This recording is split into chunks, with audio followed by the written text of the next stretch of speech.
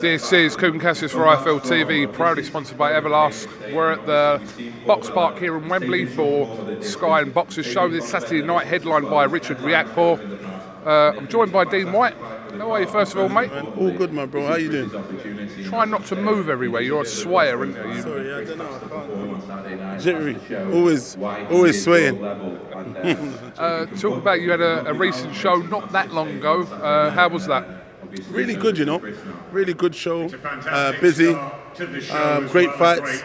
Great show. Great entertainment. So I'm quite happy. We've got another show coming up, um, a joint uh, juncture show with someone, Victor Smith, on June the 25th. We've got a few boys out on there. So yeah, just rocking and rolling, and then hopefully July we might have something. So we're active, man. We're active for yourself to put on these kind of shows uh, in the current climate of boxing, you can give people an insight to how difficult or not difficult that is currently to do that, to be able to put on these kind of shows. Yeah, it's very, very difficult, man. It's hard. There's a lot of intricate stuff. There's a lot of um, you know, niggles that you got to get done. You need a good team as well, man. You know what I mean? It's not as easy. I'm, I'm sure uh, most of the other promoters are testament that it's not as easy. Um, we had a lot of issues with getting fights sanctioned. There was a lot of fights being turned down. There was a lot of stress at the time, but you know, everything happens for a reason, I guess. Um, but you know, we managed to get, I think, about 11 fighters on, which is still a, a very strong card. I think we ended up bloody going until after midnight, which was a really long night. But um, that's learning. I understand a little bit more now about certain stuff. I made a little error, not a major error, but you know, in the numbers. But you know, that was only our third show. But I mean three back-to-back sellout shows, and um, you know we're, we're very fortunate, man. I'm very fortunate and blessed that all the hard work is paying off. Um, and um, but it's something I love to do. You know what I mean? It's not for the faint-hearted. You know what I mean? So yeah, good matchmaker as well. So big him up. I mean, look, I don't know the situation regarding my, my next question, but if your shows at this stage, like you said, three shows in, and not like at least breaking even, what what's kind of the incentive and motive to, to push on and, and do another one? I think we do very good. I don't know. I don't really disclose any information, um, but yeah, I think we do we do very good, man. You know what I mean? And um, I'm happy with how things are. So we're continuing to proceed and grow, and we got to um, continue to mold and make the right steps. Because if it, if it doesn't, you know, break even or make you anything, then you've got to question, you know what I mean? But like I said, in the long term, we're trying to build grassroots. We're trying to build some of the boxes we have in our stable and, um, you know, bring them on the road and the journey. So we might, we might lose a little bit here and there, but at the minute we're, we're doing good, man. I can't complain. Um, we're building the guys. I've got one of the kids with me here today as well. Um, and we're going to continue. We're signing a few boys now. We're looking at new locations. I think we're going to be, um, I was with the board on Tuesday looking at a new venue in Kent, in uh, Kent Way. So God willing, that goes well. We'll have a new venue. It's going to be really nice, and we'll be doing um, we'll be doing some bits down there because I've got a few boys from that um, Dover, Maidstone, um, and we're, we're surrounding. So, and I think South East London, there's a few boys from there. It's only around 35 minutes, 40 minutes from there. So I mean, we're working, man. We're planning, and and and, uh, and that's the only thing we can do. You know what I mean? If you don't have a plan, man without a plan is big, in big problems. uh, you touched on it there, but your next show will be on. Yeah, so we've got a joint show on June the 25th.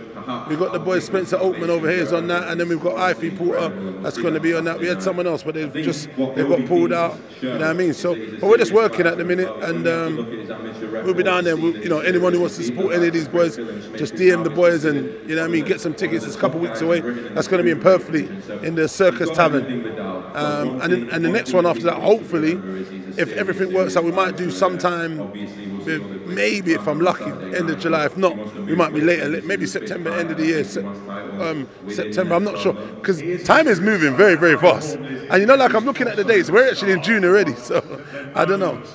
You mentioned the Circus Tavern. They used to go Circus Tavern back in the day. You know about the history of Circus Tavern? Not really. Tell me about it. I used to go there a little bit, white collar stuff. I bet you did. It's, oh, yeah, let's not. Yeah, anyway, anyway, anyway. This is back in the day, anyway, when we were younger. When we were younger. Okay. Circus Tavern, you know, mad. Yeah, yeah, yeah. Shit. I didn't remember that. I, I don't know.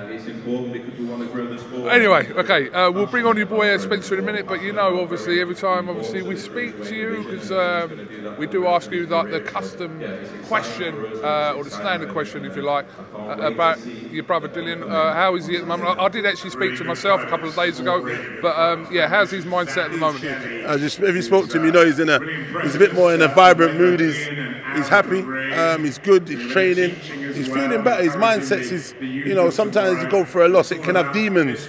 It can affect you, and it did for a little bit. It affect the whole team. You know what I mean? So, um, but yeah, he's, he's good now, man. He's he's in a good place.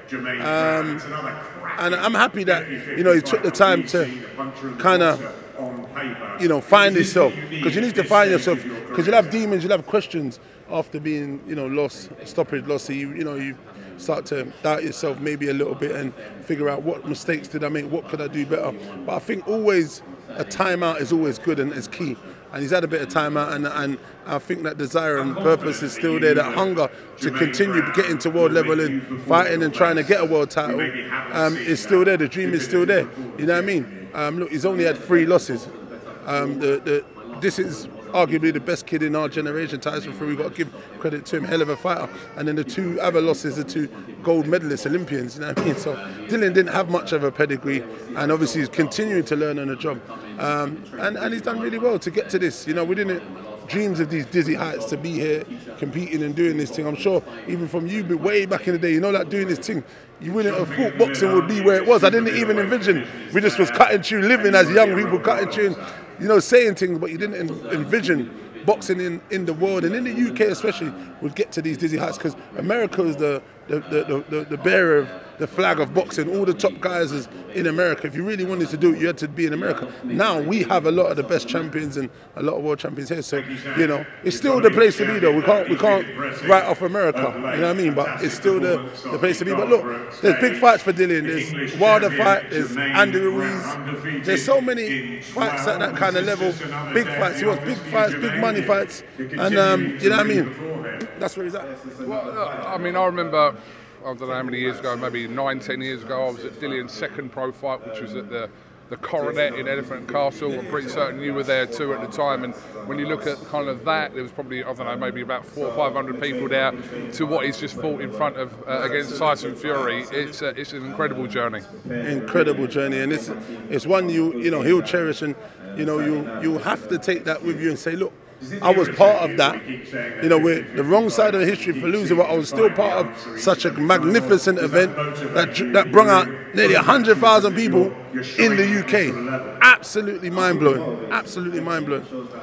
Dean, what can you tell us about his recent meeting with Anthony Joshua? We saw them pictures come out. It looked very civil. And here, you know, I didn't, I didn't even ask him about it. I didn't even ask him about it. You see me, I just mind my business. You know, if it ain't nothing to do with me, I just, you know, we don't really ask no bugger. Sure, I'm working and doing what I'm doing. I saw it online, and then, you know, he's a madman. He just chats madness. I, I, I, don't know if he even mentioned it or whatever. But I didn't ask about it because I was doing something. I think I was at the Taylor and Serrano. Then I came back, and then I had to, I had to rush back to sort out my show. My show was like 10 days later.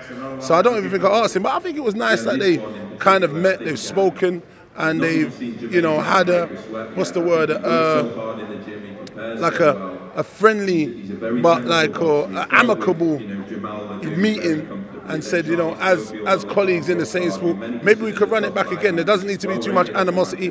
We can just be uh, acquaintances until that day again. You know what I mean? There doesn't need to be no um, animosity, and that's good. I think that was really nice to see. But I didn't really go in and ask him anything. Well, one thing I do.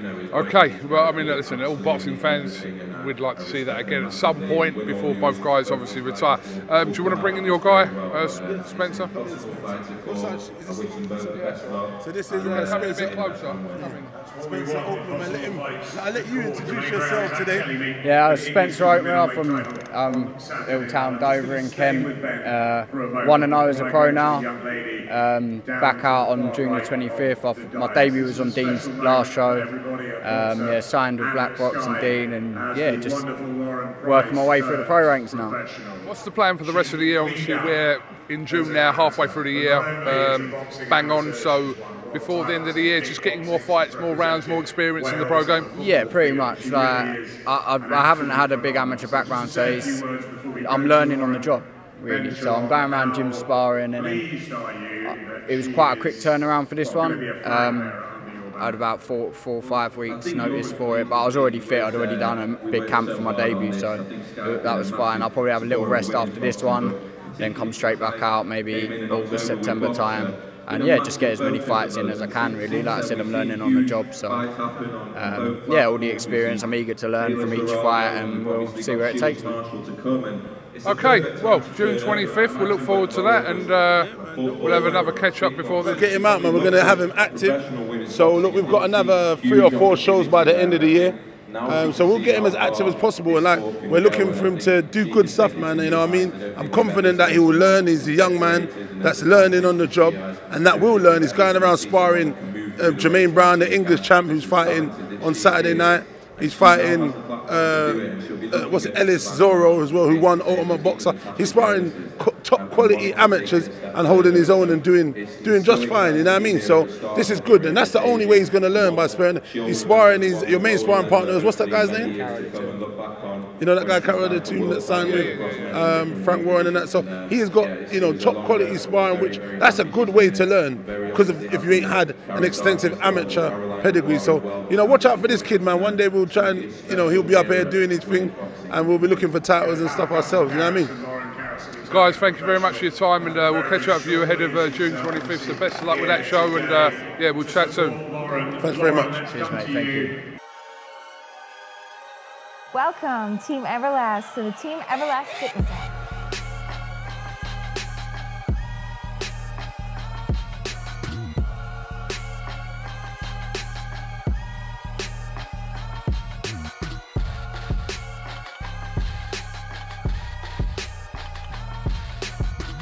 Download the Everlast Fitness app and find your greatness within.